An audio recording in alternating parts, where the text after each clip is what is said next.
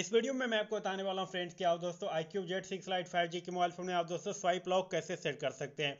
मतलब जब आपका फ़ोन लॉक रहे तो जैसे ही आप पावर बटन को दबाकर ऊपर की ओर स्वाइप करें तो आपका फ़ोन अनलॉक हो जाए। वो वाला कैसे आप सेटिंग करेंगे, चलिए मैं आपको बताता हूँ। इसके लिए आपको अपने iQOO Z six lite five G mobile phone की सेटिंग्स में जाना है। सेटिंग्स में जाकर नीचे आना है। नीचे आने पर आपको यहाँ एक ऑप्शन मिल जाएगा सिक्योरिटी का। इस पर क्लिक करना है। इसमें नीचे आएँगे तो आपको यहाँ का स्क्रीन लॉक का ऑप्शन मिलता है, इस पर आप क्लिक करिएगा। तो देखिए, अगर आपके फ़ोन में अगर आपके फ़ोन में कोई सा भी लॉक सेट दोस्तों नहीं होगा तो जब आप यहाँ स्क्रीन लॉक पर आकर क्लिक करेंगे तो डायरेक्ट इस तरीके का पेज आ जाएगा। लेकिन अगर आपके फ़ोन में पहले से कोई सा भी लॉक सेट होगा पिन पैटर्न या पासवर्ड तो जब आप स्क्रीन लॉक पर क्लिक करेंगे तो आपको वहाँ पर वो अपना लॉक मांगा जाएगा। तो जब आप अपना वो लॉक डाल देंगे तो उसके बाद इस तरीके का पेज आएगा। लेकिन अगर आपके फ़ोन में पहले से कोई सा भी लॉक सेट नहीं होगा तो डायरेक्ट स्क्रीन लॉक पर क्लिक करने पर इस तरीके, इस तरीके का पेज जाएगा। अब देखिए स्वाइप लॉक सेट करने के लिए बस आपको यहाँ स्वाइप पर क्लिक कर देना है।